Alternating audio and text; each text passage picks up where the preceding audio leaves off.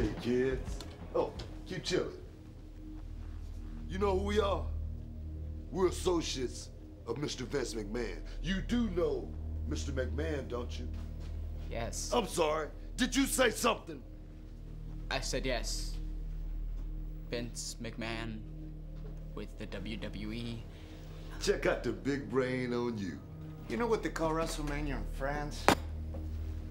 This is good. Tell him, Eddie. Eddie. WrestleMania. That's right. But do you know when WrestleMania is? April 3rd? Look at you. But if you're so smart, why haven't you bought tickets to said WrestleMania 21? Because they're sold out. But there is pay-per-view. Somebody stole our paid-per-view box.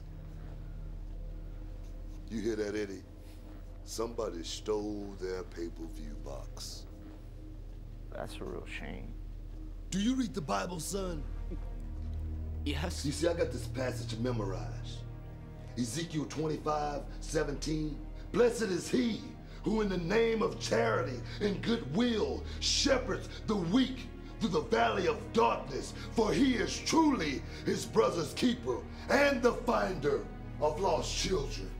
And I will strike down upon thee with great vengeance and furious anger those who attempt to poison and destroy my brothers. And you will know my name is the Lord when I lay my vengeance upon thee. Now can you dig that, sucker? WrestleMania tickets? WrestleMania goes Hollywood.